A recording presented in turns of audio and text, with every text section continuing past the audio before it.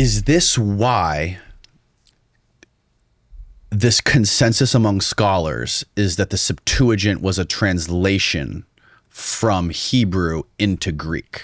This is getting back to the thing that you and Ammon Sure. had the debate on Neil's channel about. So the reason, no, I don't think that I don't think it has anything to do with that. okay. So the reasons why scholars think that the Septuagint, the Septuagint was translated from Hebrew texts is because when you investigate the two texts side by side, the Hebrew next to the Greek, you see things taking place within the Greek text that um, indicate there is a there is a Hebrew syntactical feature that um, they are grappling with, that they're dealing with. Like they're not so Greek and Hebrew are not related. Like they're they're distantly related languages, right? Greek is Indo-European. Hebrew is Northwest Semitic. The languages function differently. So, you know, there are there are clues within the Greek text, and it's like any translation, right? You you encounter uh, colloquialisms or idioms or turns of phrase in one language that don't translate well into another language. Yes. And when someone encounters a feature like that of the text, not quite knowing what to do with it, they'll develop various strategies. And there are there are things that we can actually point to in the Greek text where we see that happening.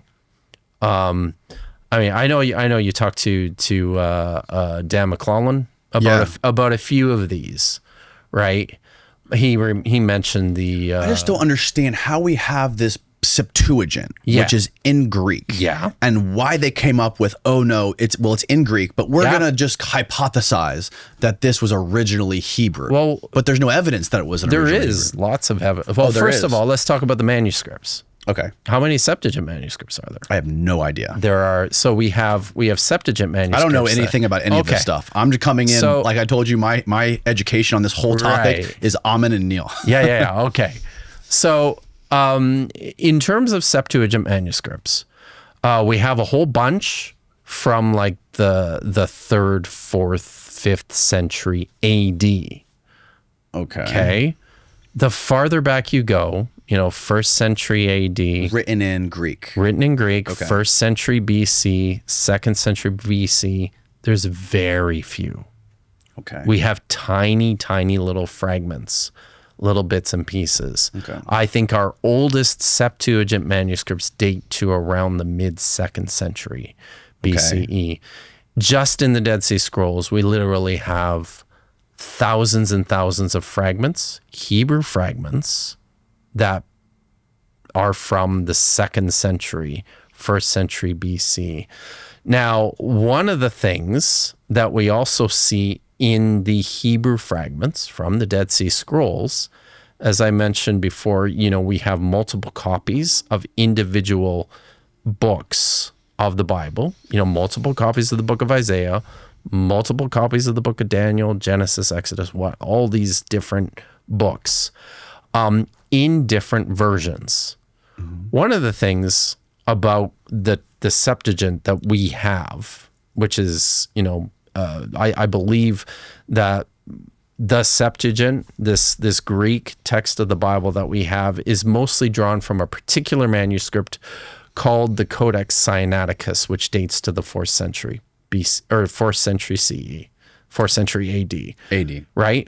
So, uh, but one th- one of the things that you see when you compare that text to the Hebrew text is in a lot of places, it's pretty dramatically different.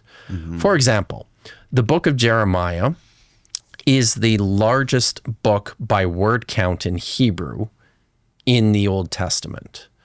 Uh, and the Septuagint version of it is shorter by, I think it's 15%. So it's a much shorter text and it's in a dramatically different order. It's clearly way different. There's other texts from the Bible that are like this. The book of Exodus is like this. The book of uh, First Samuel. So you're like this. saying, and I'm just trying Yeah. to make sure I understand this correctly. You're saying that the Greek is using less words and the Hebrew is using more words. What I'm saying is that in certain places it looks like if we if we think that the let's let's for for the sake of this part of the discussion, let's say that there's a Hebrew original to the Greek. Okay. What what it looks like is that the Septuagint is using a different Hebrew text than the Hebrew text that we have preserved. So it's very different.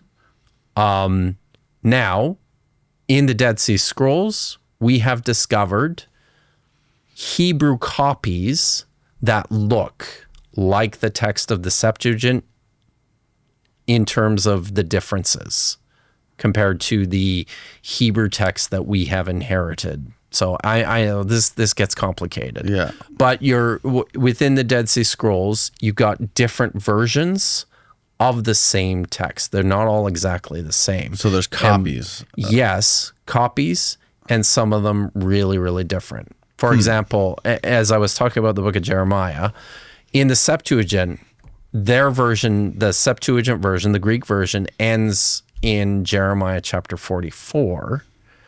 Uh, in the Hebrew version, ends in chapter 52. So there's a whole bunch of extra material, right? And again, like I said, it's all rearranged. And yet we have a Hebrew copy uh, from the Dead Sea Scrolls, so written in Hebrew, that also ends in chapter 44. Looks just like this Greek some? text.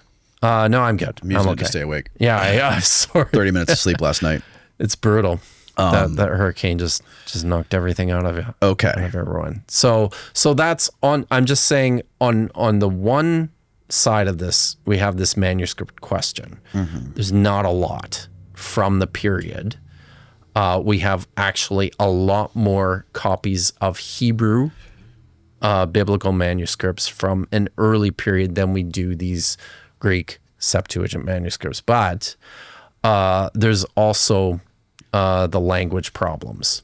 And I, I mean, we could talk a little bit about that if you wanted. So to. my understanding of the language yeah, is that the Greek is a much more deep and Yes. complex language Yes. than the Hebrew. that's true. And the Greek has like over a million unique words I don't- and Hebrew has like 6,000. I think that uh, the way you you make those, the the way that that Ammon comes up with those numbers, Is Uh, that not true? it depends on how you count them. I okay. I've never heard anyone but him say that there's a million. He's the only person I've heard suggest that. I I think uh, it's probably more accurate to say closer to 250,000 I'm- word forms versus And and it, Neil, can you can you corroborate this for Yeah. us? there's there's 1.5 unique word forms, but that's that's counting all of the uh, paradigms of verbs. oh well, see, I mean, you do verb- the same thing. 1.5 million unique word forms. Right. But what does that are- mean? I mean, so one it, verb, for example, luo can be luo men, luo seen, luo luo thin. So- could be different versions of the word to in. English. Well, I'll, I'll try and explain this in English. Okay. So ahead, like- we have we have a verb, uh, run, right? Uh, a a form of the verb, uh, using uh, the subject and the object. Uh, if if we're speaking about um, you personally running to the store, you could say, I ran to the store. I ran uh, is a verb form. You ran is another verb form. He ran is another verb form. In Greek, as well as in Hebrew, that form is represented by uh, a word that looks a little different each So time. different ways the same Yeah. word is used. He's Yeah. counting that as unique Yes. word forms. So when So- you count, when you say there's eight thousand Yep. unique words in Hebrew, are you doing the same thing? Uh, no. So I think he's probably only just counting the roots there. It's lemmata. It's 250,000. So 250,000. What'd you say? 250,000 lemmata, 1.5 unique word forms in Greek. That's the that's the number of the up to date Now, lexicons. now I think I think importantly, I'm happy to I'm happy to agree. Okay. That Greek is definitely a more developed language Mm-hmm. in and in terms of in terms of some of the complexity. So and my- there's a lot more lot more literature. So to my untrained brain on linguistics and all this stuff, the Yeah. I I don't know anything about translating. I've never Yeah. translated anything in my life. Right. But the way my layman brain thinks about this is if I found a flying saucer in the desert Mm-hmm. and I am a, it came from some advanced civilization and Mm-hmm. I'm some primitive ape trying to figure out what it is and recreate it, I would create probably something closer to like a horse and buggy compared to that flying saucer. Yep. So if the Septuagint is this incredibly deep, sophisticated language with with many more words being used, how are you coming up with something that is less advanced and less developed out of that? Um,